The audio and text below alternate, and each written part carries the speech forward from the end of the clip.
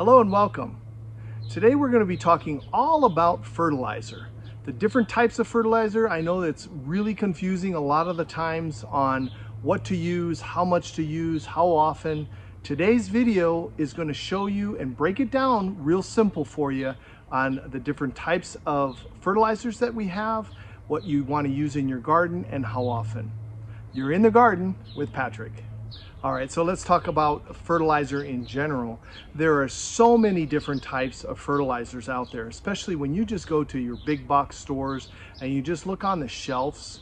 There is a ton of different uh, types of fertilizers. There's uh, soluble, there's insoluble, there's granular, there's all kinds of different uh, numbers on the boxes. And what does all that mean? So what we're gonna do is I'm gonna break that down for you really simple today and how you are going to be using that in your garden back here. Uh, and it'll be pretty much across the board. I'll give you some basic ideas of how you're going to fertilize for different plants and when you're going to fertilize. So uh, the first most important thing that we want to talk about before we even get to the fertilizing part is your soil. The soil is the key and if you don't have good soil, and that's going to make a big huge difference in how your garden grows. So i would always recommend to do a soil test if you're a new beginning gardener um, or maybe you have an established garden and you're not sure what's going on. I'm going to put a link below. I have an affiliate link to a soil test kit uh, that i use and it breaks down everything and i'll put a description in the uh, box below uh, on a video that I did on that particular soil test kit. Uh, in addition to having your soil tested, it would be um, very advantageous for you to have your soil uh, in the soil test, it'll have your pH tested also.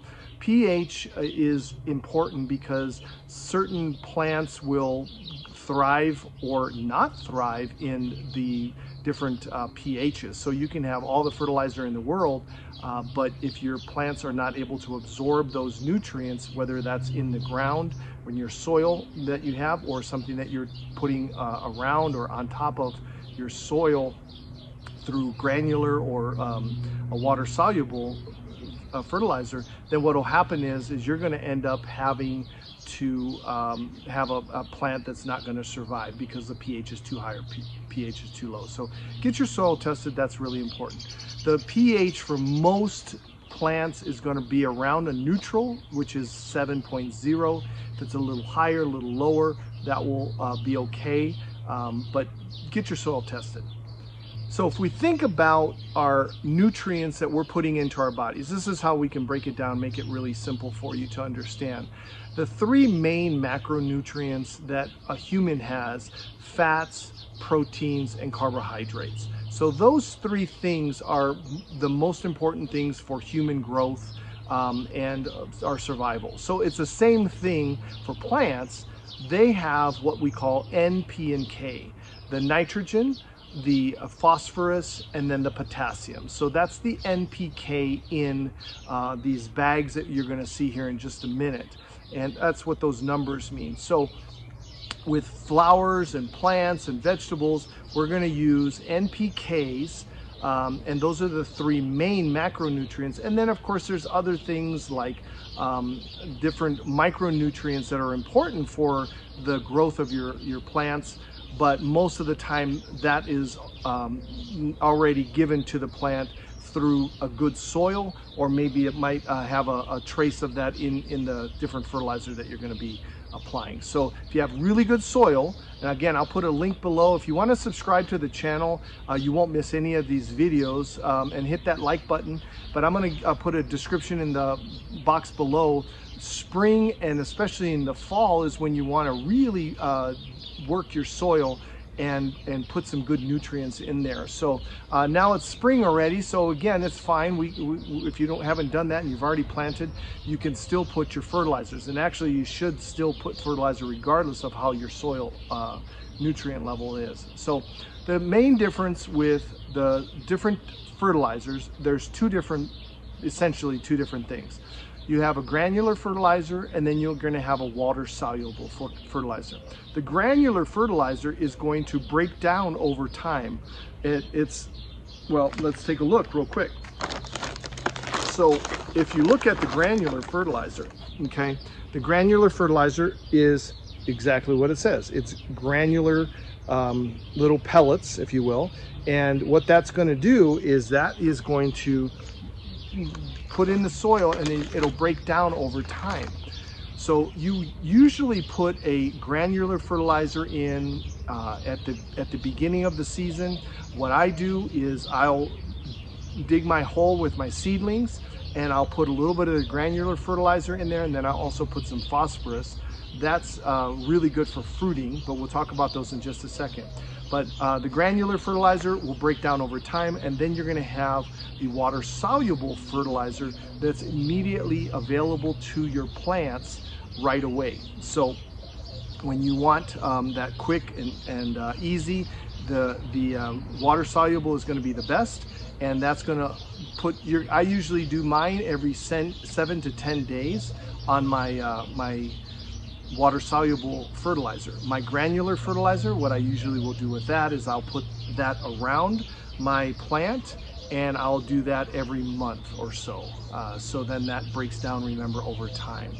So on the, and, and again, you just have it, your, your schedule and just make sure that you water every seven to 10 days with your water soluble and your granular fertilizer you put there um, uh, every month or so and you do that for the length of the season and you should have a wonderful, wonderful garden and uh, you'll see all, all kinds of things going. So let's break down a little bit what the NPK is in the fertilizers and what all that means.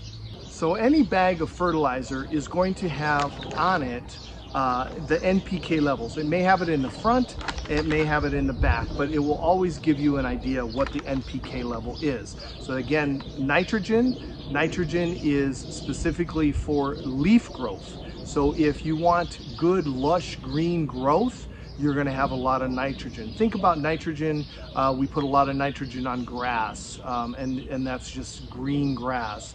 Uh, you might do that for leafy lettuce, but your greens that you're going to be doing, uh, you want to have a high nitrogen.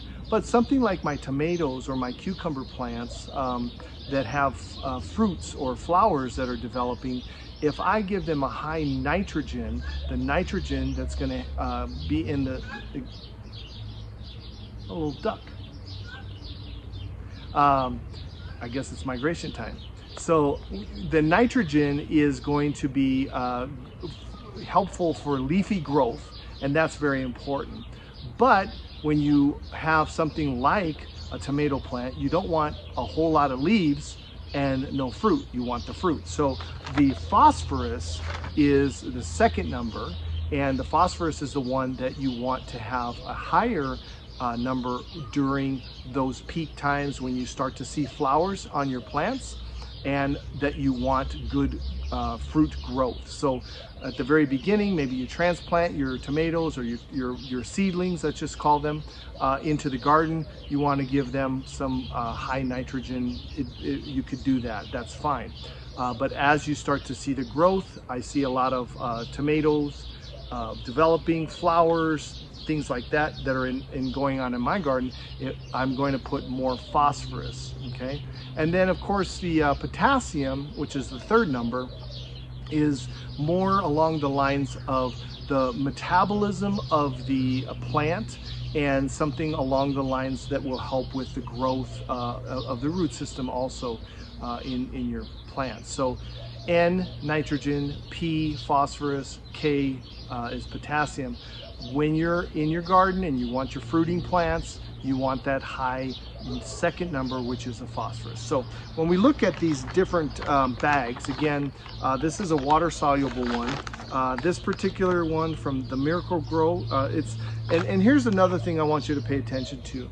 The marketing on these things, don't even look at the marketing on this because this says uh, tomato plant uh, food. So if, if you look at this and you, you buy this, because it says, oh, it's tomato. I have tomatoes. I want to plant tomatoes. So remember what we just talked about.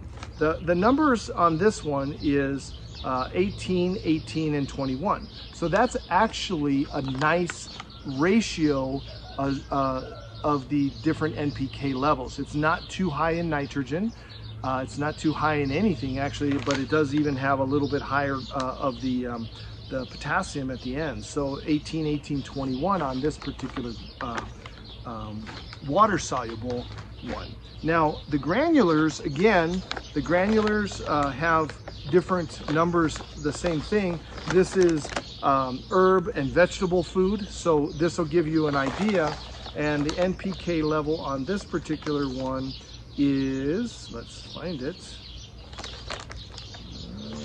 Sometimes they're not hard, they're not easy. Okay, so this is a great one because, and this is probably why I bought it. I bought it for two reasons. The first one is, is it's a very balanced um, fertilizer. So on the uh, NPK, it's 344. So anything really higher than that, you really need, it's just a concentration of how much of that is in the uh, fertilizer. So a 10-10-10 is uh, not as strong as a uh, uh, 20 20 20 or something along those lines. So so it doesn't really matter as much the numbers. You want to have a just a, a low number um, but even especially right now and when you're in your garden and things are growing just keep the keep the numbers even or again you could put a little bit of uh, the the second number the uh, phosphorus in there that helps with the uh, flowers. So this is a uh, 344 this is why I use this. The other reason why I bought bought this particular one bought this on sale at the end of the season. And uh, if you look in your big box stores, you can always get a discount. You just have to ask. If you see something like this, where the bag was opened or it has, you know, a tear in it or something, you just take it up to the register and just ask them, hey, uh, this was, you know, damaged. Can I have a discount? Usually they'll give you about a 10% discount. Um, now, this is another one that's kind of interesting. So this I bought again on sale, on clearance at the end of the season. And this is particularly for what? Citrus, right? So this is Citrus-tone and this is for citrus and avocados. Um, so you would think, well, what do I need this for? Because, you know, I don't have an avocado tree or I don't have citrus. But again, this is a granular and the NPK on this is 526. So it's it's a fairly even, the, the, the nitrogen is a little higher, uh, but again, 526 is not bad. And this is, you, you could use this for anything. It doesn't just specifically have to be for uh, your citrus. So look at the numbers, don't look at the packaging and what it says. Just look at something, find something that's new, uh, neutral, uh, a, a 555, a 888, 101010, or again, if the numbers are a little off, don't worry about that so much. Now, the other secret that I use in my garden is bone meal. So that's what I'll be using uh, right now in my garden. Um, this particular bone meal is exactly what it sounds like. It's crushed up uh, bones.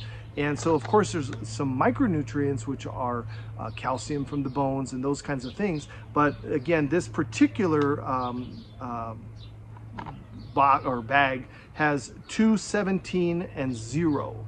So it's got very little uh, nitrogen, but it has a lot of phosphorus. So what is phosphorus good for? Remember, it's good for our plant um, flowering and fruiting. So you're gonna take this, now you can, you can take this if you want, and you could make it a water soluble if you want it. You could take this uh, based on the directions that it tells you, you can put that in water, dissolve it, and put it on your your your plants if you want it a little bit more immediately um, available. But what I usually just do is I just take a tablespoon or a half a tablespoon plant uh, put that around my plant and I'll show you what I do with that uh, here uh, in just a second. But just basically you you put it around the plant and that's pretty much it.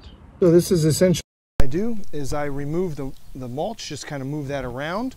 This is my um, Hungarian paprika pepper and uh, I'll take like one, again, more or less one tablespoon of my granular fertilizer and I'll just take that and I'll sprinkle that around. And then I'll take maybe a teaspoon of my bone meal and I'll just take that and sprinkle that around my plant. And then all I just do is just with your fingers just kind of rub that into the soil and then you put your mulch back on top and you're all set. I'll be posting more videos like this so if you have some things that are going on in your garden uh, let me know in the comments below. I'd love to know how your garden is growing and what you're growing this year. Until next time, Happy gardening. So I'm sitting here in my garden. Take a look. I just love the hummingbird.